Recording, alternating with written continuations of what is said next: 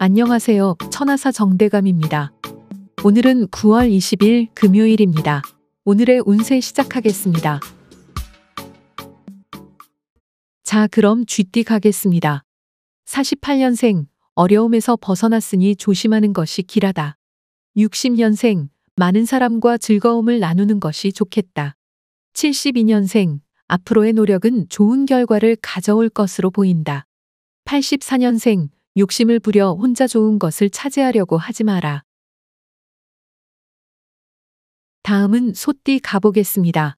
49년생 깊이 생각한 뒤 상대를 따른다면 즐거운 날이 되리라. 61년생 현금은 저축하는 것이 좋겠다.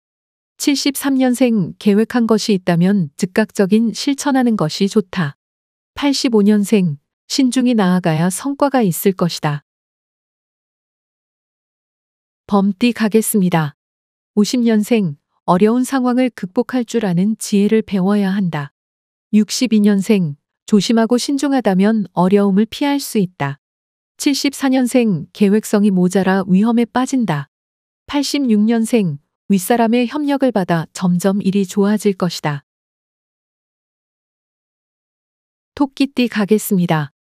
51년생 괴롭지만 고통을 내색하지 마라.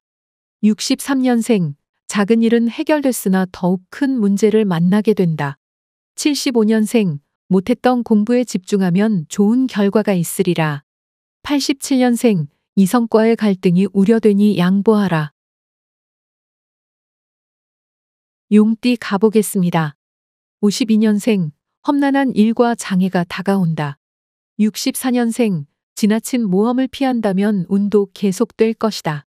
76년생 근본 바탕은 즐거움이니 기쁨 속에 형통함이 있다. 88년생 주변인들을 너무 믿는 것은 금물이다. 뱀띠 가겠습니다. 53년생 지금까지의 일을 고수하면 운이 따를 운이다. 65년생 유흥의 시간을 보내게 된다. 77년생 어디를 가도 반기는 이 없으니 슬프구나. 89년생 건강 악화로 가족에게 근심이 생길 수 있다. 다음은 말띠입니다. 54년생 평소와는 좀 다른 경험을 하게 되리라.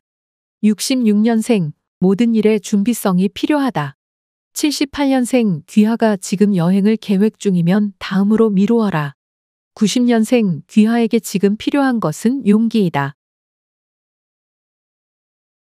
양띠 가겠습니다. 55년생 모든 일이 잘 풀리니 용기를 내어 추진하라. 67년생 약간의 손실이 있을 수 있으나 신경 쓰지 마라. 79년생 능력을 평가하기에 좋은 기회다. 91년생 오늘 귀하의 행운의 숫자는 9번이다. 원숭이띠 가보겠습니다. 56년생 매사에 조심하는 것이 길하다. 68년생 매사에 자신이 있고 막힘도 없다. 80년생 일이 순리대로 풀리기 때문에 어려움이 없다. 92년생 하늘에 밝은 해가 떠 있으니 모든 것이 환하다. 닭띠 가겠습니다. 57년생 있어야 할 것은 모두 제자리에 있다. 69년생 겸손한 자세와 양보를 하니 일이 풀린다. 81년생 손실이 있겠지만 작은 손실에 불과하다. 93년생 노력하는 가운데 자신의 능력을 인정받아 기쁘다. 이번엔 개띠입니다. 58년생 책망이 있을 것이니 다소의 망신이 있을 것이다. 70년생 난관이 있더라도 타파하고 깨트릴 수 있다. 82년생 큰일을 해낼 수 있어서 좋다. 94년생 일을 멋지게 하고 싶지만 약간의 저항을 만나게 된다. 마지막으로 돼지띠입니다. 59년생, 막힐 때도 있겠지만 뜻밖의 활로를 찾을 수 있다. 71년생, 예상보다 큰 기대를 얻게 된다. 83년생, 편안한 휴식처를 찾는다. 95년생, 올바른 말이 통하지 않는다.